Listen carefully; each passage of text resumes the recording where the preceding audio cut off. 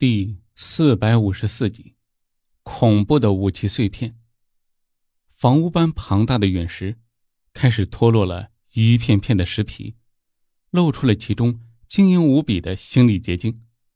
这块陨石之中蕴含的星力堪称恐怖，完全是由精纯的星力凝结而成的固体。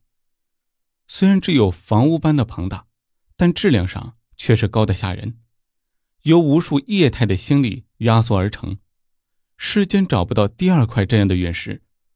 不知道多少万年前从天而降，砸入在这个深深的地底之中，恐怖的吸收力再次加强。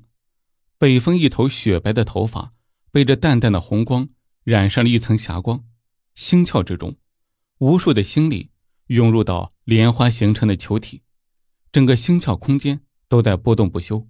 像是不堪重负，砰！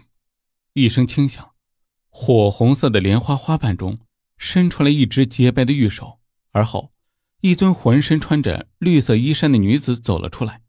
衣衫之上，一朵赤红色、如同火焰的莲花绽放，而头颅部分却是诡异的一朵莲花。这是星神的第二进化状态。星神伸手向着外界一指。点在了庞大的红色晶体之中，这一点便如同摧毁了堤坝一般。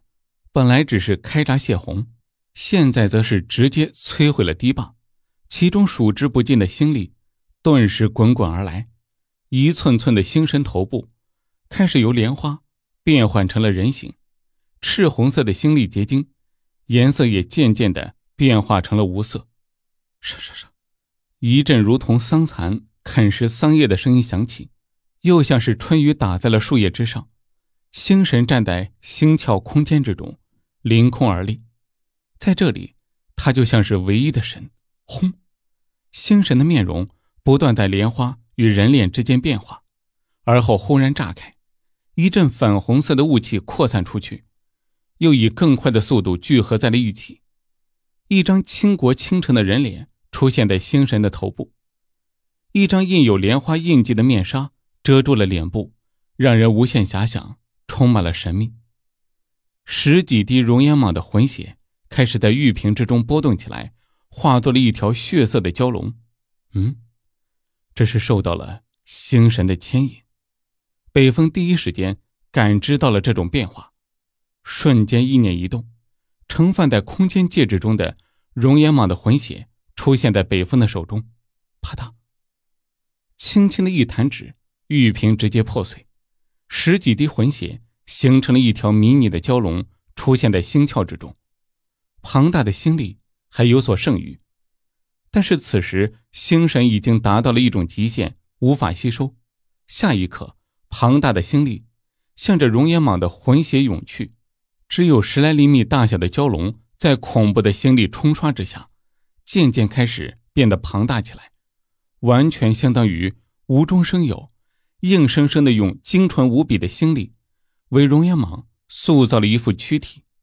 星力消耗殆尽，一头两米多长的赤红色蛟龙缠绕在星神的身上，散发着淡淡的蛟龙威压。下一刻，这一处处于心脏处的火属性星窍瞬间消失不见。北风的神魂之上，一处星窍赫然出现。三颗星窍位于神魂之上，隐隐有所联系，又彼此相克。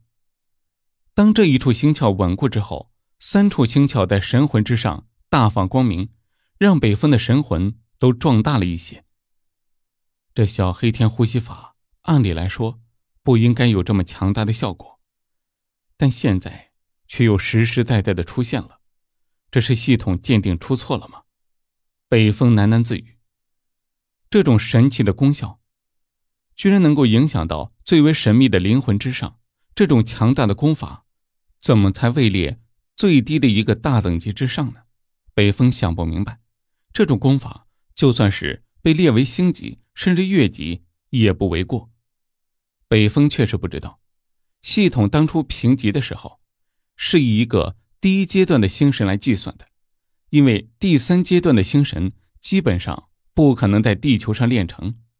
北风的意识退出星窍，浑身一震，气势节节拔高，却是混元之体的后遗症已经过去了。这是过了多少天了？北风的气息一发即收。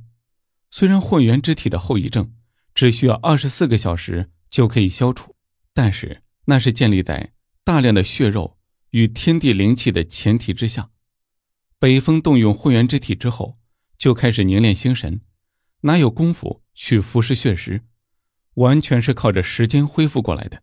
此时，北风只感觉到一阵阵的饥饿感不断传来，咔嚓。若是北风的气息一发即收，但还是影响到了一旁的陨石。此时的陨石颜色已经变成了灰白之色，上方裂开了一道细密的裂缝，而后轰然破碎，化作了一阵烟雾。一段十几米长短的树根从陨石之中掉落出来。这一根树根干瘪，早就失去了生机。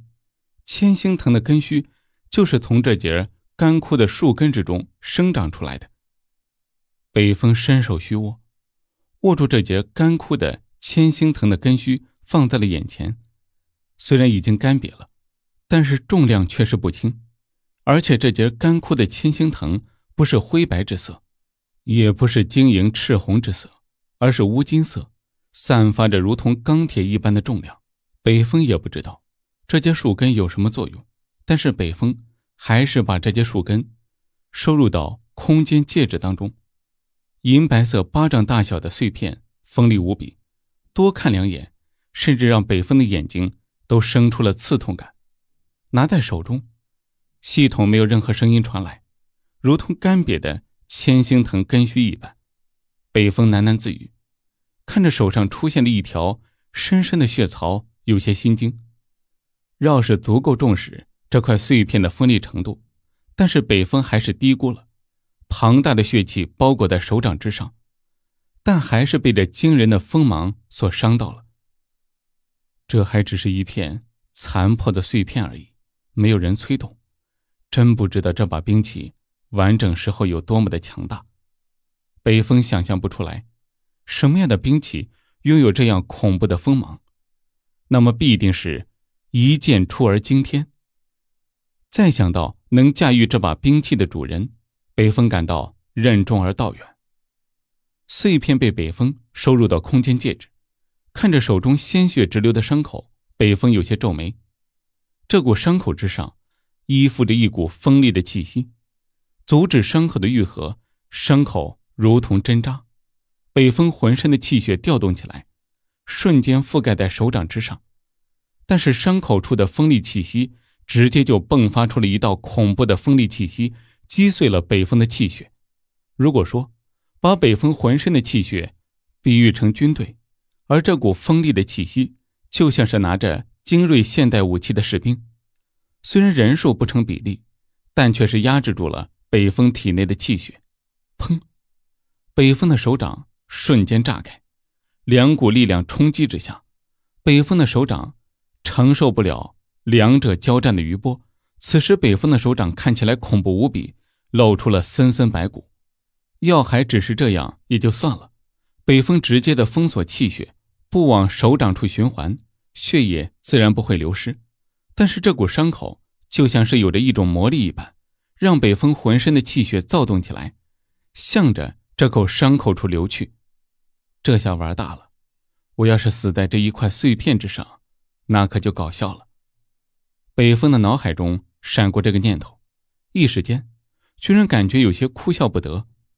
但是伤口处浑身的气血还源源不断的向着这个方向流去，只是这么一会儿功夫，北风浑身的气血就流逝超过了百分之一，这是一个恐怖的数字。这还只是被这块碎片的锋芒所伤到，要是被这块碎片直接斩中，北风想想都不寒而栗。估计那时除了直接断臂之外，没有任何的办法吧。北风毫不犹豫地从空间戒指中取出来九星果，微微的一用力，直接撕开了实质一般的外皮，露出了其中如同血肉一般的晶莹果肉，一股股的异香传来，让北风咽了咽口水。顾不得慢慢去欣赏这颗果实，北风直接大口大口的吞咽着果肉入口，带起了一股浓郁的果香，如同最顶级的妖兽肉一般，很有嚼劲。一口口咬下去，一股略微有些苦涩，像是竹笋之中蕴含的雨水一般。只是几口下肚，北风瞬间就感觉到飘飘欲仙，通体迸射出来晶莹的光芒。可以看见，一股股庞大的能量在北风的皮肤之下流动，大量的精纯气血不断的从果肉之中散发出来。只是丹丸稍微运转，就化作大量精纯的气血被北风所吸收。一股股庞大的力量，一次又一次的向着伤口处冲击。一次次被锋利的气息所击碎，我明白了，我体内的气血虽然量很庞大，但是与这一股锋利的力量比起来，却还是少了一点。我的力量没有魂。北风一次次失败之后，终于明白了缘由。九星果不仅仅是增加气血，同时也对精神力与神魂很有作用。在源源不断传来的清凉之气下，北风此时的悟性。不断拔高，相当于陷入到顿悟之中。这一股锋利无比的气息中蕴含的魂，也可以说是意志。这一股意志就像是斩破了一切，无坚不摧，没有什么能够抵挡的。而北风体内量虽然多，但却没有意念，自然不是这股力量的对手。两股力量对比起来，就如同两个成年人，一个是经过严格训练的士兵，拥有武器。而另一个，则是身体壮实的庄稼汉，手无寸铁，怎么可能是其对手？北风陷入沉思，没有去理会不断滴血的手掌。此时，无数灵感的火花在北风的脑海之中碰撞。那么，我的信念，我气血的魂是什么？北风不禁扪心自问，开始思索起来。一件件往事在自己的脑海之中闪现。